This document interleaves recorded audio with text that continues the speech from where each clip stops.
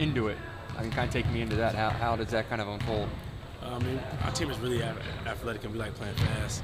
And uh, I texted him one night, I was like, Coach, just let you know our team really likes playing uh, the 2 2 1. He was like, good. That's a typical Coach Martin response. So. Did you get designated as the, as the spokesperson for the, for the teams wanting to play this? Some people, some people in the locker room might think that we got, you know, we can talk to him and he'll do some stuff, but that's not happening. South Carolina wasn't it the first game y'all did it? yeah, there? yeah, I think it was. So you would have texted him before that game? Is that what you said? Yeah, I texted him before that game. And after, too. Same response. Was it a I, I told you so text? No, I was just like, we really like doing what we want to do more after. He's good.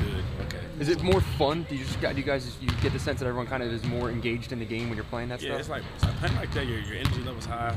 Pressure can't energy can't be low doing something like that. So playing like that, it, it gets you really going.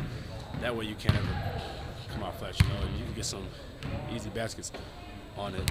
That, would be great for us. Just said you're not thinking much about the NCAA tournament, but how much of a sense of urgency is there in each game now? The loss total you have, I imagine you can't afford any slip ups if you want to be in the conversation.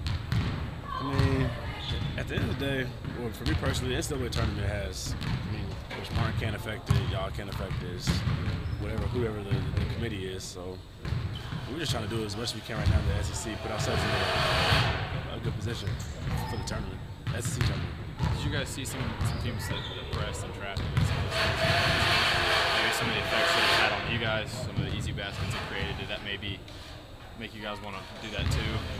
Um, copycat kind of thing, or? It's just, um, just like I said, we just we're really athletic, and in practice we kind of we're, speeding guys up, getting turnovers in your practice. So I mean, why not try it on somebody else instead of just beating up on each other all the time?